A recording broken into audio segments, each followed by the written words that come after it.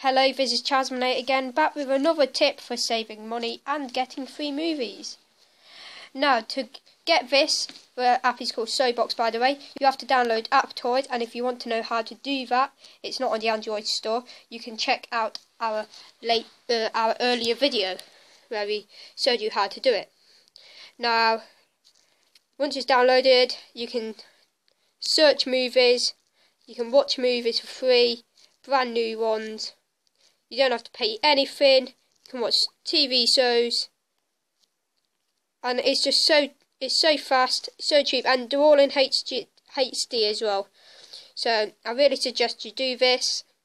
So this is quite a short video, but again, I'm just giving you some tips and hints to how to save money and get some good stuff on your Android devices.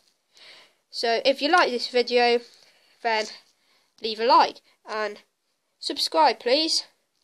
This is Chasminator, like, subscribe, and see you next time.